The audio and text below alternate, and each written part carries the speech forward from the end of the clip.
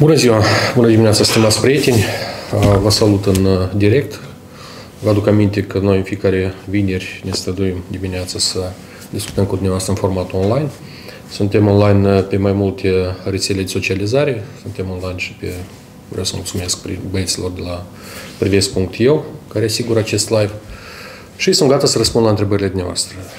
Din start voi veni doar cu câteva lucruri mai noi, după care, văd că deja am vreo 10 întrebări, o să răspund și la ele. În primul rând, alegerile s-au finalizat. Ați văzut ieri uh, briefing-ul care l-am organizat. Eu nu vreau să mă repet mesajele care au fost date, doar o să concretizez unele lucruri. Eu cred că noi toți trebuie să revenim uh, uh, în albia dialogului, în primul rând. Nu, nu ne trebuie destabilizări în Republica Moldova noi socialiști, eu personal, ca lider al Partidului Socialiștilor, ca tată, în primul rând, ca cetățean, nu în ultimul rând, eu vreau Republica Moldova să fie pace, liniște, să se stopeze toate mesajele xenofobe care au fost lansate de Maia Sandu, de susținătorii ei. Eu cred că noi avem nevoie de liniște în Republica Moldova. Dar asta nu înseamnă că nu trebuie să tragem unele concluzii. În primul rând, trebuie să tragem niște concluzii la ceea ce s-a întâmplat în aceste alegeri. Aceste alegeri nu au fost libere. Noi nu putem să le recunoaștem ca alegeri libere. Și asta nu este doar poziția socialiștilor, aceasta este poziția uh, mai multor observatori occidentali, misiunea OSCE, ODIR, uitați la rapoartele lor, care spun foarte clar că a fost utilizat resursul administrativ, inechitabil a, a funcționat a, uh, presa, accesul la media, Iată de ce noi, socialiștii, uh, nu recunoaștem aceste alegeri. Mai Sandu nu este președinte ales al Republicii Moldova, în opinia noastră. Și mă refer nu doar la faptul că am vins doar datorită uh, votului diasporii. În cercetare, chiar în live, acum discutăm mai departe, mă sună băieții de la Parlament, ședința Parlamentului. Da, da, Vlad. Eu, eu sunt în live, am început. Acum ceva urgent? Da, veniți încoace dacă ați finalizat acum. Ok, eu, eu finalizez în jumătate de oră, chiar în live cum suntem. Bine, hai. Uh, colegii noștri la Parlament au declarat boicot astăzi și nu vor participa la ședința Parlamentului. Apropo, încă și continuu gândul. Uh, noi astăzi organizăm un protest pașnic la Comisia Electorală Centrală. Vor fi mii de oameni. Noi, Partidul Socialiștilor, astăzi vom protesta la CEC la orele 14.00.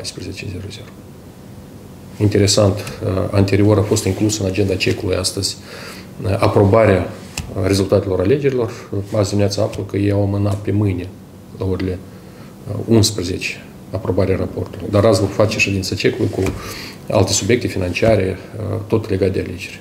Probabil s-au speriat. Nu vă temeți uh, reprezentanții cecului, nu avem de gând să intrăm în clădirea cecului. Noi astăzi protestăm pașnic la cec. Vor urma și alte proteste cu participarea a mii de oameni la diferite instituții în săptămânile ce urmează. Repet, noi ne dorim liniște, noi ne dorim pace, noi nu vom admite destabilizarea situației, aceasta este poziția socialiștilor.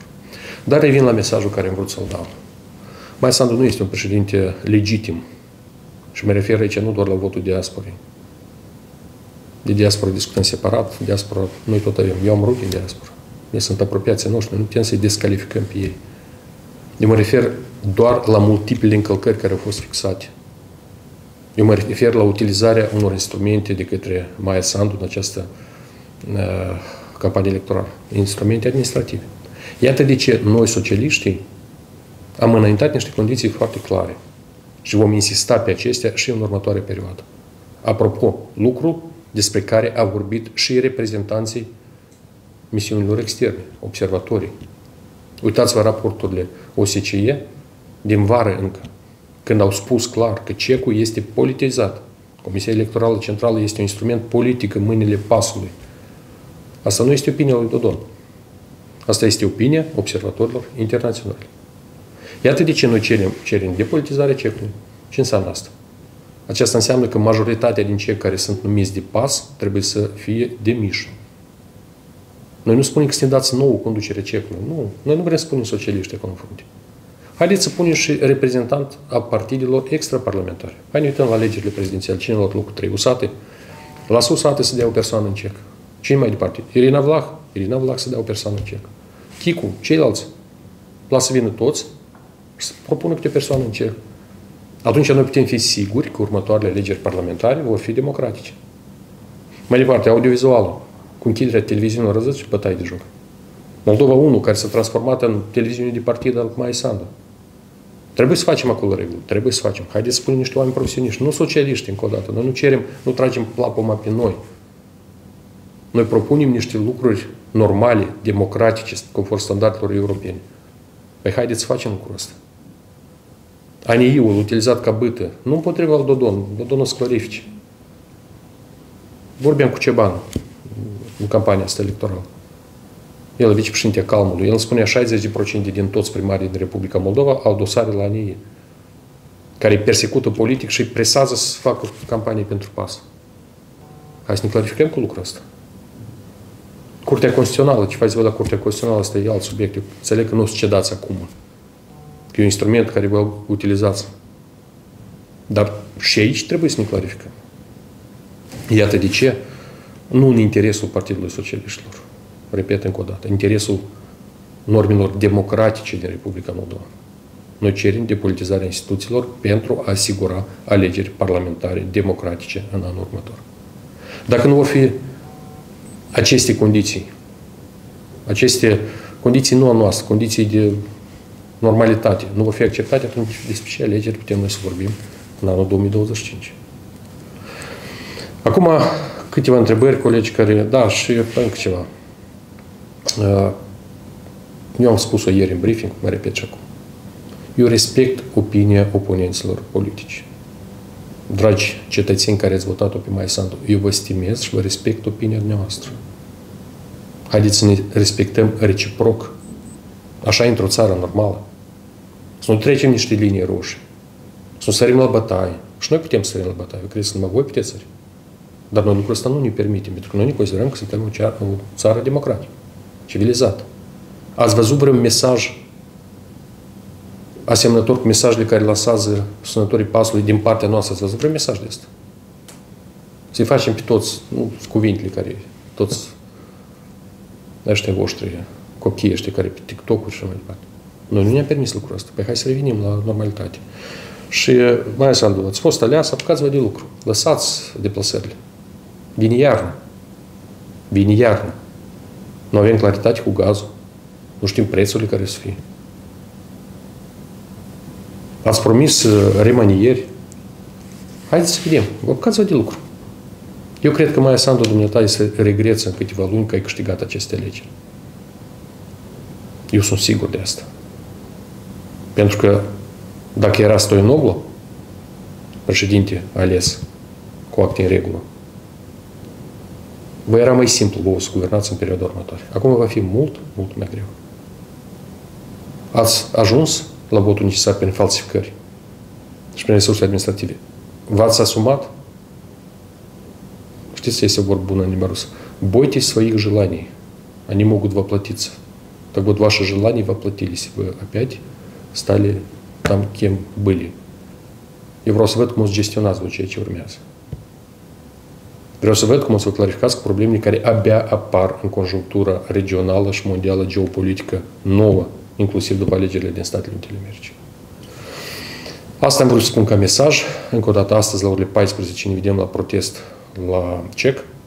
Protestele vor continua și în următoarele săptămâni, pașnice, nu vom admite destabilizări și cerem categoric și solicităm și invităm și alți colegi din opoziție să obținem condițiile minime pentru asigurarea unor alegeri libere și democratice în anul următor. Acum, întrebările care vin, și vin destul de, de multe, că spune că ceva nu merge. Uh, colegi, scrieți dacă merge. Merge? Hai să spun că da. Ok. Uh, ce credeți de remanierile promise, de formă, cosmetice sau uh, au învățat lecția? Eu cred că Maia Sandu nu a învățat lecția. Eu cred că Maia Sandu va face niște așa numite modificări cosmetice. Нам не нужно, есть да? Нам не нужен косметический ремонт, Майя Сан, нам нужен капитальный ремонт. Капитальный ремонт – это нужна другая парламентское большинство. Конечно, нужен другой президент, желательно. и нужен другой премьер-министр, и нужен другой состав правительства. Но это возможно только после того, как поменяется парламентское большинство, после парламентских выборов. De aceea, eu cred că nu ei nu au învățat lecția și dacă să-l schimbi pe spânul de ministru, să să-l pună consilier la Maia Sandu să-i cânte în fiecare zi la urechi, ce o să schimbi din asta? Dacă și pe Litinenco l-a scos de ministrul justiției. Tipa l-a scos anul trecut. Doar eu știu că Litvinenko gestionează tot ce ține de dosarele penale și de justiție și la această etapă. Deci aceste mișcări cosmetice nimic nu vor soluționa. A, pe care întrebare. Cum comentați numirea lui Victor Fortun în funcție de procuror șef al Pici Cox? De ce brusc a ieșit din concurs contra candidat? De ce nu e clar? Mai Sandu a promis că o să scoată mănușile albe. Le-a scos și l-a numit pe Fortună, care l-a pus la pușcărie pe Stoianoglu. A scos mănușile albe, le-a îmbrăcat pe cele galbene. Asta la voi reforma justiției? Apropo, acest furtună, da, e că coincide cu mesajul care le-am spus, acest furtună a fost propus de Litvinenko în 2021 când l-a arestat pe Stoianov. E că asta la voi reforma justiției. De ce considerați că alegerile au fost fraudate? Eu uh, v-am am mai spus, am depus câteva zeci de contestații fixate. Eu mă refer la încălcările fixate, care urmează să fie examinate de Comisia Electorală Centrală. Au fost și multe altele. Eu am spus ieri în briefing, vă spun încă o dată, la o secție, la un, într-o țară din extern, un coleg de-al meu a votat în această țară la câteva secții de votare în aceeași zi. Ca să vadă cum funcționează și a, și a votat. A votat. Și de aceștia sunt sute și mii de persoane care au mers la diferite secții de votare în afara țării, poate și în țară, aceste suspendări a sistemului electronic în timpul votului. Când banul lucrează, banul lucrează. Fraudările au fost masive. E că mi-a scris un coleg, un prieten, că dintr-un sat, nu vă dau satul, părinții uh, acestei persoane, acestui prieten, au stricat buletinul, că nu vreau nici pentru Stoinoglu, nici pentru Maia Sandu. Când a ieșit procesul verbal după numărarea voturilor, nu a fost niciun buletin de vot stricat. De ce? Și cazuri de astea sunt multiple. Ce va face PSRM în continuare? Noi vom lupta în continuare pentru drepturile cetățenilor și în stradă, și în Parlament. Și evident, noi am început deja pregătirea pentru alegerile parlamentare. Apropo, eu am văzut o întrebare, când vor fi alegerile parlamentare, eu chiar am o notă aici, ca să știți, alegerile, dacă sunt ordinare, pot să aibă loc în perioada 27 iulie-26 octombrie. Asta conform legii. O să ajungă pasul sau mai Sandu în forma politică vorbind. Până pe data de 27 iulie, eu nu sunt sigur. Da, ei după alegeri deodată și-au tras iar premii pentru funcționarii lor. Ați văzut? Nu au trecut alegerile și la ședința de guvern de la altă ieri, iarăși au dat premii. De 30 ceva de milioane sau 20 ceva de milioane. Așa au înțeles elecția după aceste alegeri. Dar bani în buget nu sunt și bani din extern nu vor fi ceea ce ei cred. Deci eu nu exclud că alegerile ar putea fi și mai devreme. Pentru asta sunt procedurile juridice, demisia guvernului, încercarea numirii unui alt guvern. Eu consider că alegerile trebuie să fie mai repede, în opinia mea. Alegerile parlamentare trebuie trecute cât mai repede. Pentru că această majoritate parlamentară deja nu are legitimitate. Da, conform legii, ea este legală, pentru că este legală, dar nu este legitimă, pentru că majoritatea populației doresc altceva. Și aceste alegeri au arătat acest lucru. Uh, de ce PAS încearcă să asocieze cumpărarea voturilor cu PSRM? Știți, cel mai straniu este când uh, este o vorbă bună în proverbiul moldoveni, hoțul strigă, prindeți hoțul. Cum poate opoziția să falsifice alegerile? Voi aveți toate instrumentele pentru falsificare și ați utilizat aceste instrumente. Voi vorbiți de careva setcă al ușor. Eu nu am văzut această setcă. Dar voi, dacă sunteți siguri că este această setcă, eu vreau să vă întreb un lucru foarte simplu. Dar când a fost creată această setcă? Dacă este, voi ziceți că este. Voi spuneți că 300 de mii sau pe urmă 130 de mii, ba le dați amenzi, ba... Dar când, dacă este așa ceva, când a fost creată? Vă răspund eu. Parcursul ultimilor trei ani, probabil când voi aveți toată puterea în Republica Moldova. Păi dacă este așa ceva, ce ați permis să fie creat așa ceva? Vă răspund la întrebare. Pentru că vouă este combinabil acest lucru. Vouă este combinabil să spuneți că e ca dușmană, pentru că alte reușite nu aveți. De ce noi niciodată, încă o dată, niciodată socialiștii nu au cumpărat voturi și nu vor cumpăra. Noi tot timpul am mers și am convins lumea. Și am obținut rezultate. Uh, nu vă pare rău că nu ați candidat dumneavoastră și l-ați înaintat pe Stoianoglu? De ce să-mi pare rău? Chiar cu cei apropiați, cu soția, discutam zilele acestea. Eu, dacă m-aș întoarce la data de 8 iulie, când în acest oficiu la etajul 1, am anunțat și am ieșit în briefing împreună cu domnul Stoianoglu, eu aș repeta același lucru. Eu consider că a fost o decizie corectă de maturitate politică. Și vreau să invit și pe ceilalți să facă la anumite etape așa pași. Noi considerăm în continuare că domnul Stoianoglu este, ar fi cel mai bun președinte al Republicii Moldova. El nu este socialist, el nu a fost niciodată socialist. El ar fi fost un președinte al tuturor. Eu cred că noi avem nevoie de astfel de persoane în politică. Cinstiți, onești. Cineva mă întreabă, dar ce va face Stoianoglu mai departe? Întrebați-l pe el. El nu este membru al PSRM. Da, noi avem discuții, noi și ieri ne-am văzut. Și alaltă ne-am văzut. Noi discutăm, deci firesc lucrul ăsta. Dar, repet, eu consider că noi avem nevoie în politică de mai mulți oameni de tipul lui Stoianoglu. Cinstit, sincer, порядочный la urmă urmei, cum spun rușii. Nu de ăștia de mai Sandu care împroașcă ură și venin în toate părțile. Chiar și la cele dezbateri care au avut loc.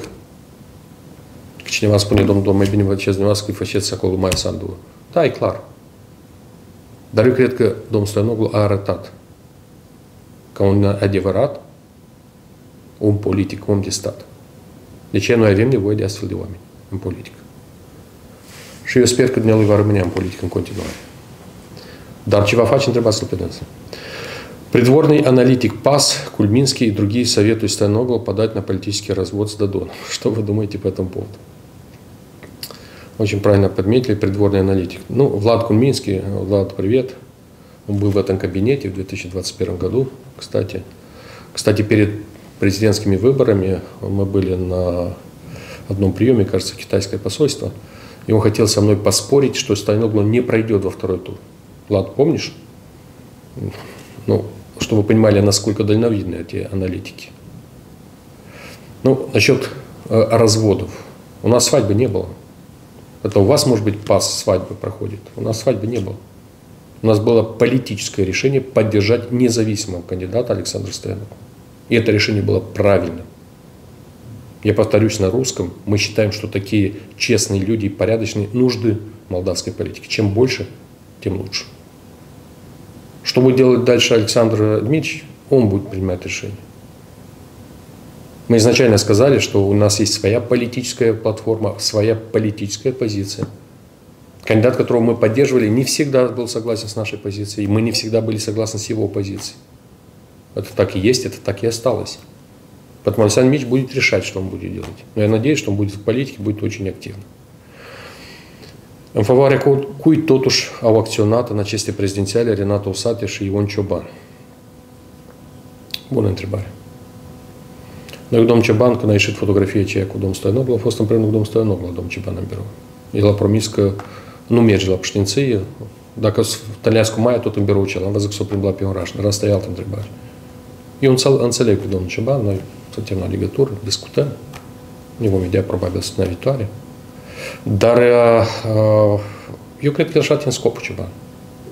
A impus-o pe Maia Sandu, care l-a numit omul criminalului, să vină la paclon la dâns. Vane молодец. Maia Sandu a arătat ca ipocrită. Cum tu numești mâna Moscovei și tu te întâlnești și discuți și ceri suportul. Ați văzut ce fața avea mai Sandu la întâlnire? Ceva era довольный, как, cum acolo spun, съешь limon. Dar mai Sandu a venit la poklon. O ajutat pe Ceban mai Sandu, evident, în opinia mea, undeva a ajutat pentru mesajul care l-a dat în ultima zi de campanie electorală pentru Europa și mai departe, unii l-au înțeles anume așa. Uh, Usate, Renata Usate. Eu ați văzut că n-am spus nimic de Renata Usate în toată campania electorală. Și acum nu vreau să spun multe lucruri. În unele raioane, oamenii care l-au votat pe Usate au votat pentru Stoianoglu. Noi acum facem analiza pe fiecare raion. În special pe nord, în multe raioane au votat cu Stoianoglu. Raion, zona centru au votat pentru Maia Sandu, oamenii Usate. Mulți au stat acasă. Eu cred că apelul mai lui Sate votați pentru cine vreți, undeva a favorizat mai Sandu. Asta este opinia mea politică. Eu nu îl învinuiesc acum pe Sate. El a luat decizia care a luat-o. Este o decizie politică care și-a asumat-o. Dacă toată opoziția venea cu mesaj clar împotriva mai Sandu, rezultatul ar fi fost altul. Dar este avem ce avem. De ce și pe Ion Ceban, și Natul Sate, nu, repet, la Sate în raioanele de nord, unele de sud au votat cu noi. Raioanele de centru, cu toate că și pe nord avem, și pe sud, care au votat pentru Maia Sandu. Raioanele de centru au votat masiv pentru Maia Sandu, cei care l-au votat pe Sate. Ideea cu boicot sau că nu votați pe nimeni, o parte de electorat care trebuie să voteze împotriva Maia Sandu a rămas acasă, cu regret. Încă o dată, fără învinuiri. Jenat, pentru că cred că trebuie să avem înțelepciunea și să discutăm cu toți. Eu sunt disponibil să lucrez și să discut cu oricare din cei care sunt în opoziție. Cum se vor schimba lucrurile după venirea lui Trump pentru Moldova? Nu știți, da, cineva acolo, eu am publicat o fotografie, început de dreapta să mă critice. Eu am și fotografie oficială peste aici, pe, o să o arătăm pe urmă. Ia întoarce carnea așa arată păretele celălalt. Că vezi? Cu Trump acum. Întoarce, că ei consideră că, că m-am fotografiat nu știu pe unde, prin caridoare, prin... Voi nu aveți ce face. Din dreapta, că este a treia de... Vezi? În mijloc, a doua. Este, este fotografie oficială cu, cu domnul Trump, cu și o să vedeți, dar nu pe asta. Uh, evident că noi suntem o țară prea mică, să spunem că o să influențeze. La dreapta, băi, la dreapta. Evident că suntem o țară prea mică pentru a spune că Trump o să influențeze situația tare din Republica Moldova, dar haideți să fim sinceri. Evident că situația din regiune o să se schimbe. Nu fă repede odată, întoarce și dă înapoi să, să continuăm discuția. Evident că situația din uh, regiune o să schimbe și o să schimbe uh, drastic. Eu cred că hai întoarce înapoi pentru că să nu vorbesc pe fonul lui Trump. Asta la cei care mă critică. Eu cred că situația se va schimba în Europa, situația se va schimba în Uniunea Europeană, în Ucraina. Eu cred că va începe dialogul între Occident și Federația Rusă.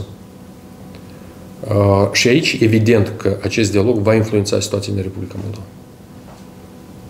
Eu cred că Maia Sandu a fost răbdată până acum și să închide ochii la toate fără de legile și apucăturile ei de dictator, doar din considerentele la ceea ce se întâmplă în Ucraina. Dacă nu era Ucraina, Maia Sandu de mult ar fi fost schimbat. Pentru că ești iese de mins deja, în sens politic vorbit. Sănătate, nu știu, nu, nu vreau să urez nimeni nimic.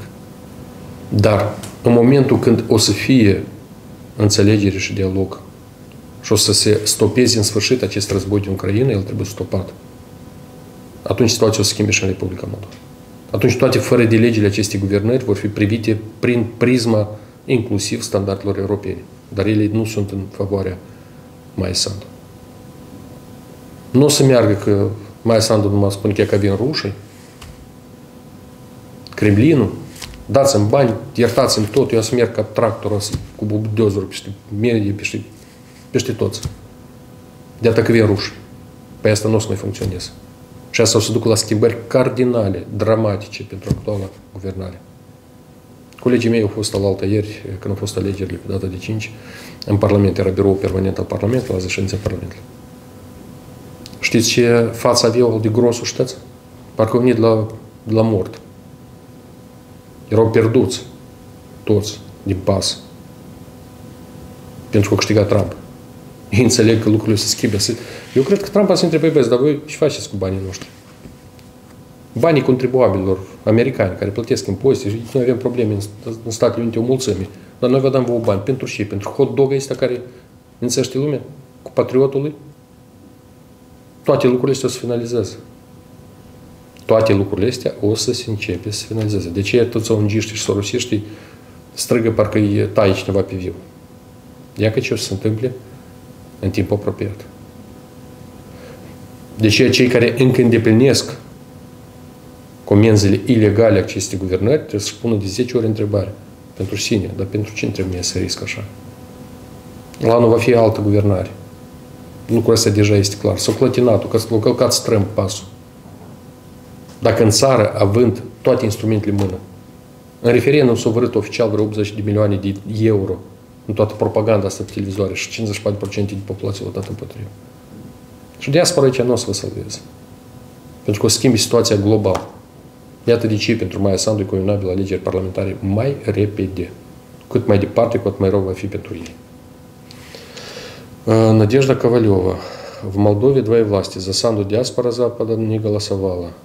За Санду диаспора Запада, как Запад голосовал.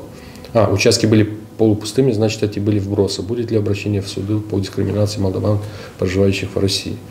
Надежда, конечно, мы все эти вопросы поднимаем и в наших, то, что мы обратились в ЦИК, мы все эти вопросы э, будем обсуждать и сегодня на заседании ЦИК, и завтра наши юристы будут э, приводить свои аргументы. Конечно, мы будем отстаивать нашу позицию, если ЦИК примет это решение пользу Майи Санду.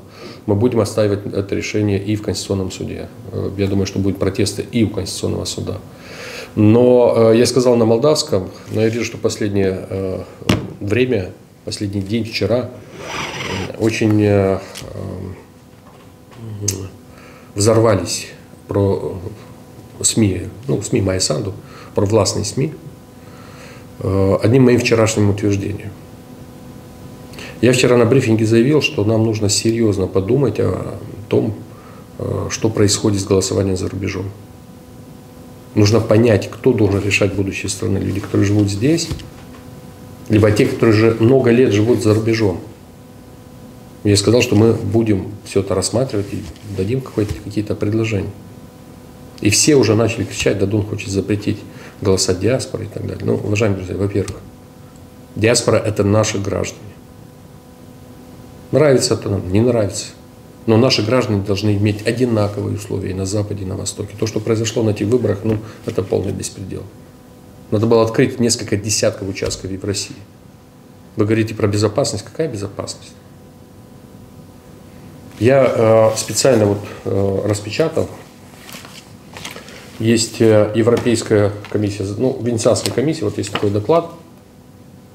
Это доклад 2021 года, еще 2011 года, 24 июня. Называется так, доклад о голосовании за рубежом, утвержденный на Совете по демократическим выборам. Знаете здесь что написано? 12 стран, в том числе 10 государств, членов Совета Европы, внесли в свои законы положение, которое ограничивает голосование за рубежом. Вот документ. Я его опубликую у себя, те, кто не читал. Я не призываю, чтобы мы сразу сейчас принимаем какие-то какие решения. Но давайте хотя бы это обсудим. Давайте это обсудим. Почему это происходит? Почему это происходит? Мерджи лайф.